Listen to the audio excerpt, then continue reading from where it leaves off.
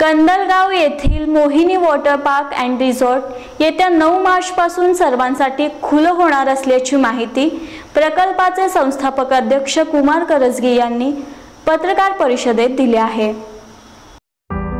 कंदलगाव येथील Mohini water park and resort सोलापूरच्या वैभवात भर टाकणारा आहे.